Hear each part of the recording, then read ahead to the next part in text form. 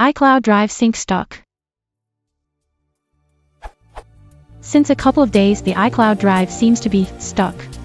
The symbol in the sidebar in Finder doesn't go away, pie chart. It looks like it's still sickening.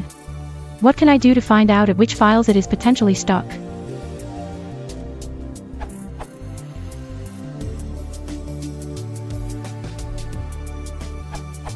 Go to the terminal and type. Check if this fixes your issue. If not, go back to terminal and type. Then immediately restart. For 300 GB of files, I had to wait an hour for anything to show up in the iCloud folder and 4 hours for the sync to finish. Source for this answer, here.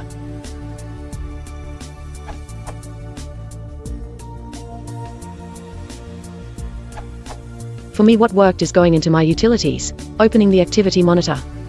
Then look for a process called bird and force quit. No files deleted or moved, it just restarted the upload process.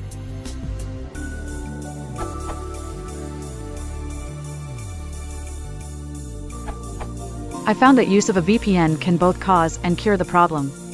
Certainly turning on a VPN midway through an upload has stopped mine, but I also found that turning it on can cause a stalled upload to restart. Of course, it might just be my internet service provider messing with me.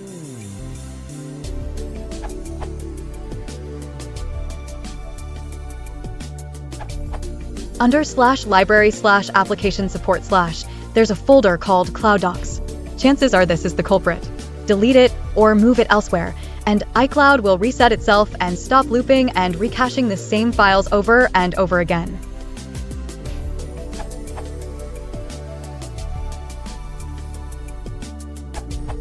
Manually go through all the iCloud Drive files via Finder and look for all files with a cloud not yet synced icon and drag or copy those files to a location outside iCloud Drive.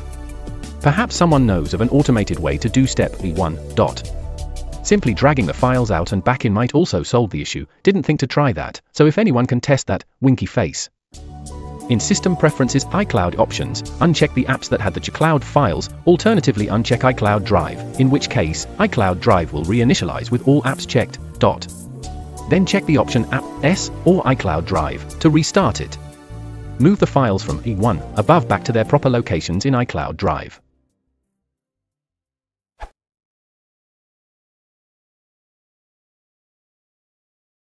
If you want to support the channel, please consider liking and subscribing.